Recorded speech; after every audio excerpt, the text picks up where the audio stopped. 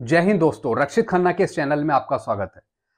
दोस्तों, आज के इस वीडियो में मैं आपको कुछ इंपॉर्टेंट बातें बताऊँगा ओ से रिलेटेड दोस्तों ओ की सबसे बड़ी डिमांड किसकी थी?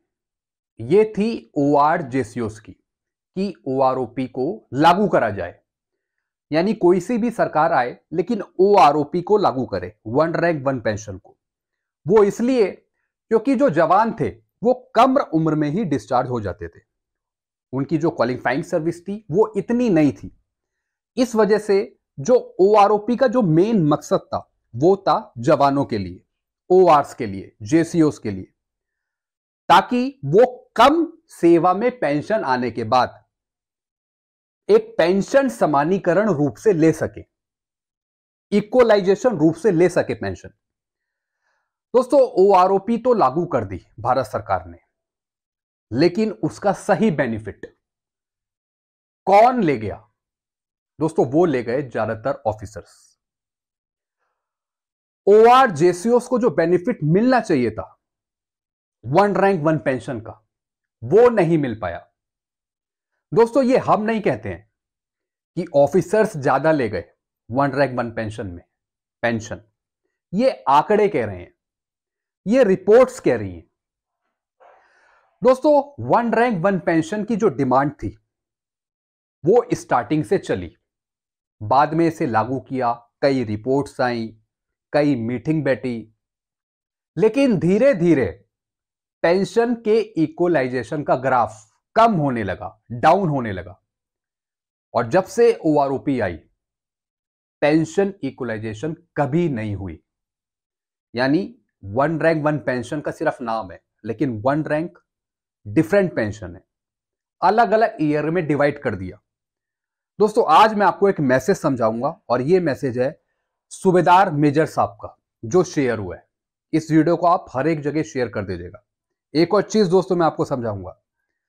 Third, fourth, fifth, pay commission की अगर आप रिपोर्ट्स उठा के देखें तो उस टाइम सिविलियंस कम पेंशन लेते थे। बल्कि ओ आर की पेंशन ज़्यादा थी, सिविलियंस के मुकाबले।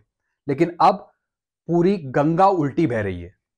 सिविलियंस अब ज़्यादा पेंशन ले रहे हैं। उनके आप पे अलाउंस देखिए, उनके आप पे स्केल्स के अमाउंट्स देखिए। अब ओ आर की पेंशन नाम मात्र की रह गई है। इतनी घट गई है, इतनी घट गई है कि आप उसका अंदाज़ा भी नहीं लगा सकते।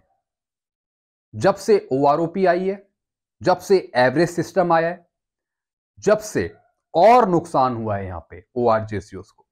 दोस्तों, आप ये मैसेज देखिए, जो एक सुबेदार मेजर साहब ने लिखा है जेसीओस O R PBR Veer नारीज widows veteran will succeed when they act independently without officers यानी जेसीओस O R PBOR widows veer नारीज इनको अब स्वतंत्र रहने की ज़रूरत है।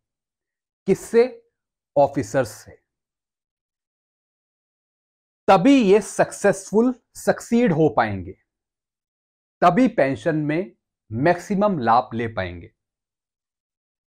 OROP 1973 is expired decision illegally implemented by Shrimati Indira Gandhi.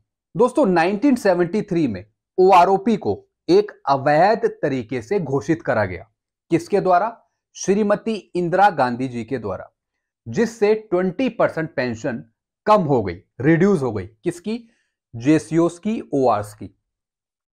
From entitle 70 percent and since 1973 onwards, we are getting 50 percent pension.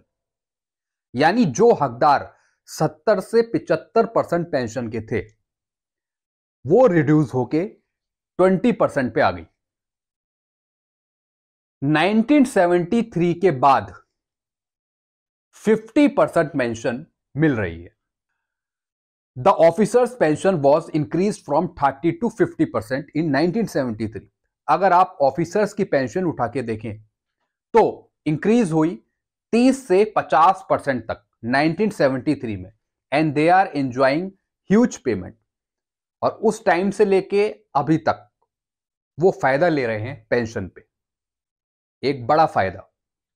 Third O R O P nineteen seventy three itself unconstitutional एक असंवैधानिक रूप से ओ R O P को लागू किया गया।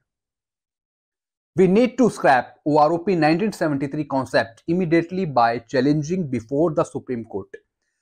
इसलिए O are ओपीटीन OROP 1973 के अकॉर्डिंग इसको चैलेंज करना चाहिए सुप्रीम कोर्ट में।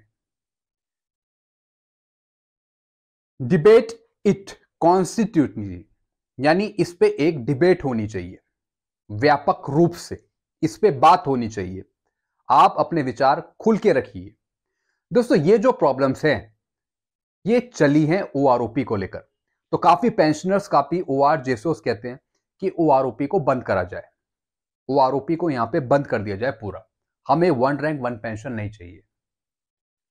दोस्तों, अगर वन रैंक वन पेंशन को बंद करा जाता है तो फिर आप किसके अकॉर्डिंग पेंशन लेंगे? सबसे बड़ी बात। जब ओआरओपी में आपको मिनिमम ही फ़ायदा मिल रहा है तो आपको मैक्सिमम फ़ायदा किस बेस से मिलेगा? यह सोचने वाली बात होगी। दोस्तों, ये सब बातें कहीं ना कहीं आपकी पेंशन में इंक्लूड होती हैं। यानी आपको पता भी नहीं लगेगा कि आपके साथ पेंशन पे क्या हो रहा है। तो दोस्तों, ये चीज़ें मैंने आपको समझाई। इसके रिगार्डिंग अगर आप कुछ पूछना चाहते हैं आप कुछ कमेंट करना चाहते हैं तो नीचे आप कर सकते हैं। वीडियो आपको अच्छा लगता है, वीडियो को लाइक करें और दोस्तों चैनल को सब्सक्राइब कर सकते हैं। Thank you so much.